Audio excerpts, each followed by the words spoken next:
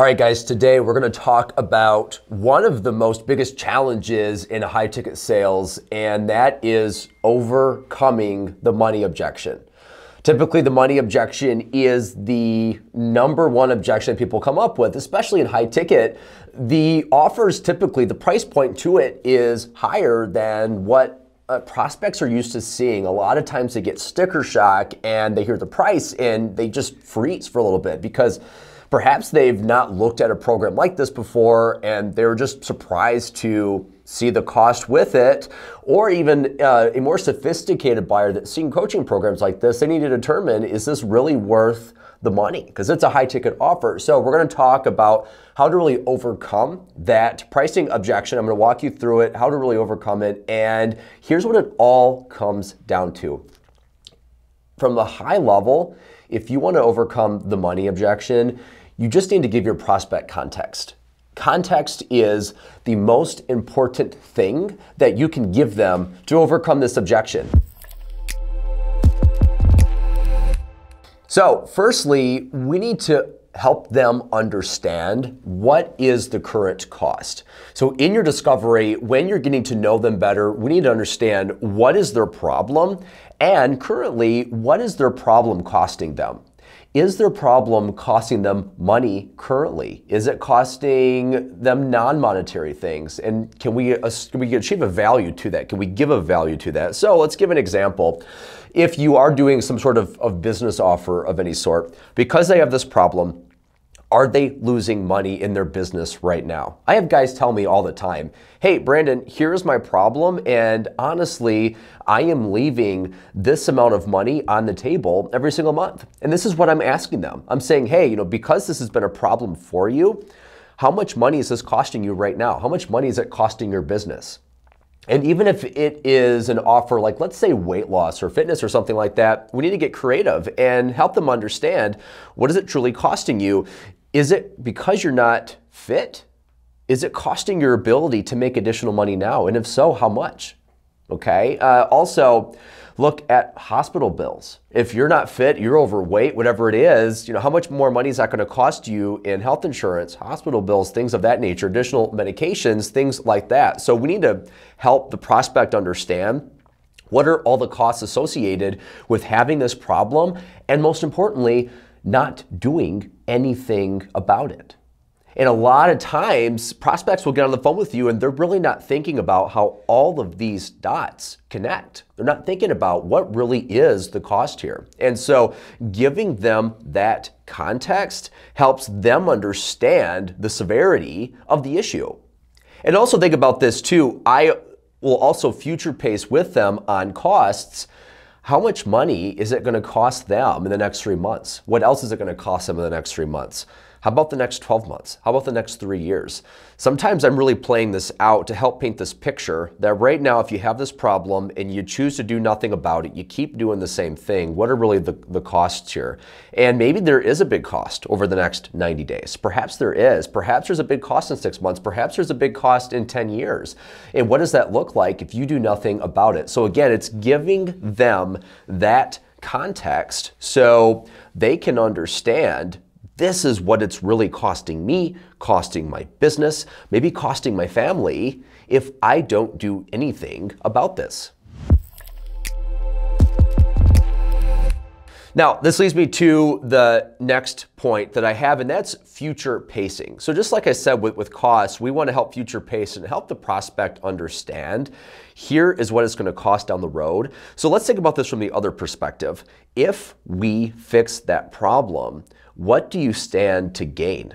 How will this benefit you? So, for a business offer, let's give this for an example. If I help you solve this problem in your business, how much more money is that going to make you in the next 90 days? Like, honestly. And I'll tell you, prospects can almost always tell me, re, like realistically, reasonably, I can make this much more money. Because I know my, my business, I understand the problem. If I get this problem solved, I can make this much more money uh, if the problem is fixed. Okay, so now we have context. Now we have context here. So if you stand to make this much money, Now it makes a lot more sense that this is how much money is on the line right now. This is the money being lost, and this is the money that I stand to make if the problem is fixed, the problem's solved. Okay? So this could be 90 days. Maybe it's appropriate to look at six months, one year, three years, maybe five, ten years down the road, depending on your offer, what that really looks like. It may make sense to really talk about that and have this have that un- understanding. So typically, I'm a fan of looking at the next 90 days, especially in a business offer, because a lot of times people are thinking in quarters as, as well. And plus, it's much more easier for the mind to understand that if I make a, an investment in a high ticket offer and I put that work into it, this is what I can reasonably expect to gain in 90 days. So this isn't a pipe dream. This isn't maybe in 10 years this may work out. This is realistically in 90 days, I'm going to see this shift in my business. I'm going to see this shift in my performance. So this makes a lot more sense. I have the context that I need as a prospect to make an educated decision on what I want to do. Let's even say this isn't a business offer. Let's say it's, it's a fitness weight loss offer or something like that. There could be some money to be made a monetary gain in, in that path, but there could be some non-monetary things too. Let's think about this. And this is one thing I'm asking my, my prospects too. If we solve this problem, what else happens in your life? What changes? Do you get more family time? Do you find more happiness? Do you have the ability to do things you've never done before? And how does that feel? What is that worth to you? So that when you put that in context, it helps them understand this is the value that I'm getting. This is what I can expect as a result if I make an investment and put my time and energy into this program. Now, lastly, I've talked about this before. This is very important in sales, especially high ticket. When people make an idea or people make a decision to uh, purchase your product, buy into a, a program, this is what it looks like. They are making a decision initially based on emotion. They're buying emotionally. And then after they make that decision emotionally, they're reasoning with logic. So they use logic to reason. Buying emotionally, then they're reasoning with logic. And so this really helps complete the, the money objection. So what I do when I'm walking through an offer, before I even talk about costs with it, I first determine, hey, you know, money aside, it doesn't really matter right now. How do you feel about this program? How do you feel about this process emotionally? Like, do you feel honestly, and this is where I'll I do what I call a temperature check. So I'm checking how are they really into this program, this product, whatever it is, from a scale of 1 to 10 or from a scale of 1 to 100, I ask them, how do you honestly feel about it? And here's how I set the frame. I say, look, you know, this, this program is going to take a lot of effort. It's, it's going to require a, a lot of you. And I only want to work with people that are, that feel 100% about this. I mean, honestly, because people that feel 100% about it, they make really good clients. And then those are the people that succeed and that make great testimonials. So it's important for me to find people that are 100%. And if they don't feel 100%, well, that's when I'm asking more questions. Like, honestly, why is it? Is it maybe this, this isn't the right fit for you? And if that's the case, it's fine, totally cool. We'll shake hands and part ways. But could there be something else? So I'm first of all getting a gauge on the emotion. Is there an emotional buy in? Because if they're not emotionally bought in, the price just doesn't matter. It just doesn't, not in high ticket, not in high ticket. Okay? So emotional buy-in is very important. So once we get that, once I get the emotional buy-in and they tell me, yeah, I feel 100% about this solution to my problem, about this product, this offer, whatever it is, okay, great. So now I remind them and I do the future pace. So after I explained to you all the details, this is the process, this is how we do it, now what can we reasonably expect you to get out of doing this? What does this look like for you in 90 days? What does this look like for you in, in uh, 180 days, six months, a year, whatever it, it is?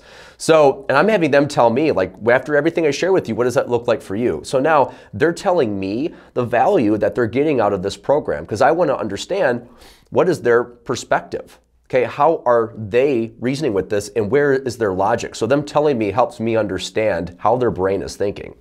So after I get a high emotional buy-in and after they walk me through, this is what they expect to get because I'm honestly asking them. I, I mean, I'm always leading them, but I, I want them to really tell me, what do you think? So when they tell me they're, they're bought in, and then They're telling me this is the reasonable outcome that they expect to, to get. And if they, they trust me in that process, then it's so much easier to go through the money.